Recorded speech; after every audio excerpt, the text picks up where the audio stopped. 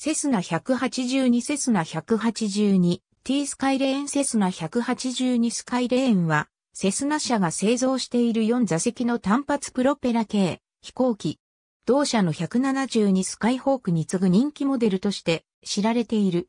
モデル170がモデル172へと発展したのと同様に本機はモデル180をベースとしている。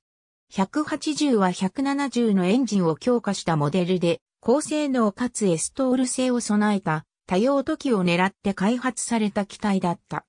セスナ社の設計チームは182は高級自家用機及びビジネス機としての可能性もあると考え、膠着装置を前輪式に変更した機体を開発した。これがモデル182であり、1955年9月に初飛行した。その2年後に登場した 182A からは、スカイレインの愛称も与えられた。